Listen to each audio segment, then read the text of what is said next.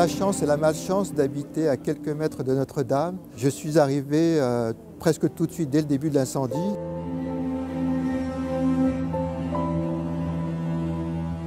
Donc j'ai vu la catastrophe euh, devant moi et j'étais tellement triste que je suis rentré avant que la, la flèche tombe.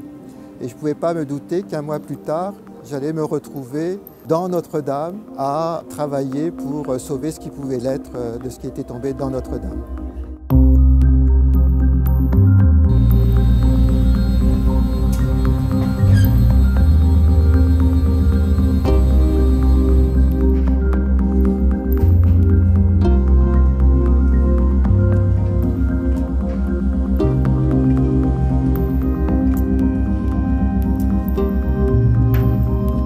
Sert de ces planchers pour euh, couvrir toute la surface des voûtes pour les déblayer.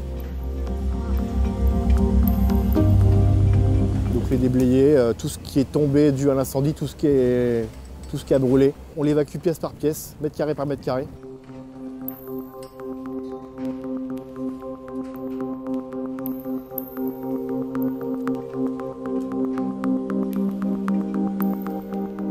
Donc c'est pour ça que les cordistes interviennent, pour justement évoluer au-dessus de cette zone sans toucher et déblayer euh, petit à petit. Ils sont pas sur leurs jambes, donc en fait ils ont, ils ont pas la force de leurs jambes, donc ils, ont- ils sont tout le temps en équilibre. Utiliser une pelle en suspension sans poser les pieds, c'est vraiment plus compliqué.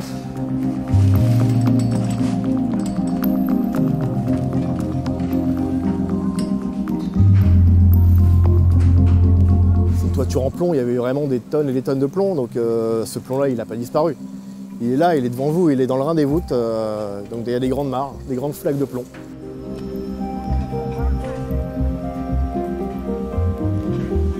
À chaque fois que je montais, euh, j'étais euh, j'étais pas bien.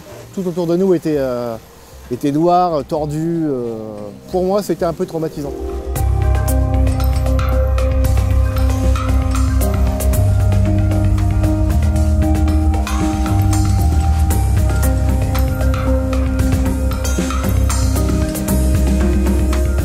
La matière du toit qui a été réduite, en- on va dire, en, poussière, avec des fois des morceaux de cuivre, des morceaux de charpente, des clous.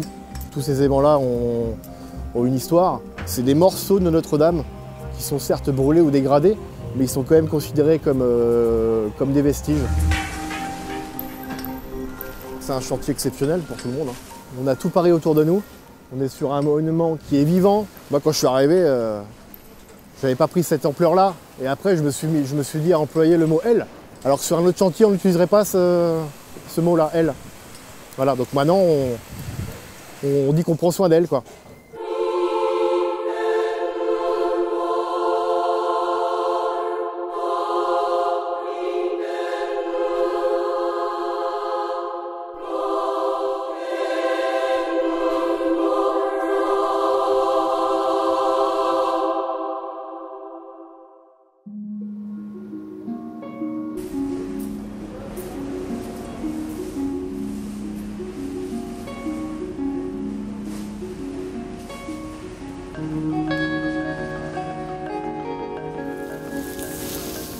Par exemple un clou comme ça, clou forgé encore, on va le, on va le conserver, on va le mettre de côté.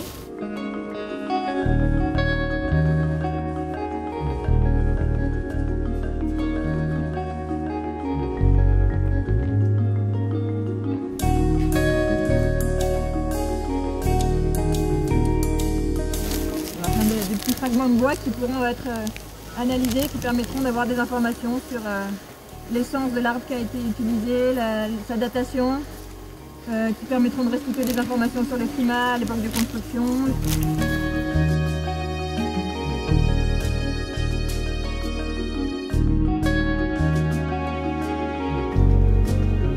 Les éléments de l'arc de, de la nef qui sont effondrés,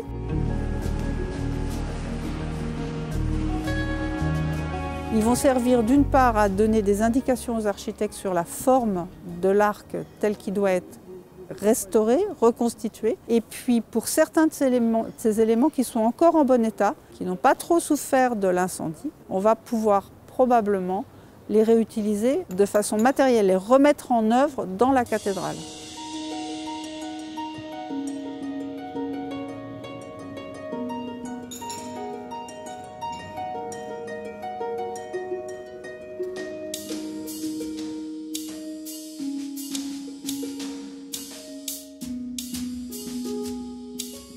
On a encore le visage de l'ange qui est tout à fait, tout à fait lisible, avec la, décoration, la, la, dorure sur la tête de l'ange. C'est une émotion particulière parce qu'on se dit c'est incroyable qu'ils aient survécu.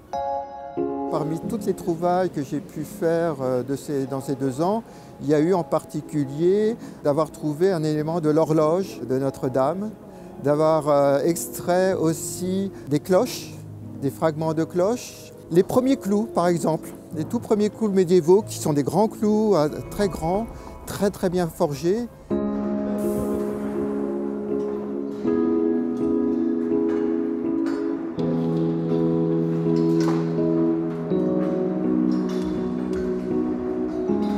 ce que je retiens du chantier aujourd'hui, deux ans après, c'est vraiment cette aventure humaine exceptionnelle que j'ai rencontrée nulle part ailleurs. Je suis heureux malheureux de ce qui s'était passé, mais tellement heureux d'avoir euh, accompli ce que j'ai accompli pendant, ces deux ans. Peut-être euh, sauver, sauver une petite partie du patrimoine de, la cathédrale, qui, je l'espère, euh, se retrouvera soit dans la cathédrale, soit dans un musée futur. L'avenir le dira.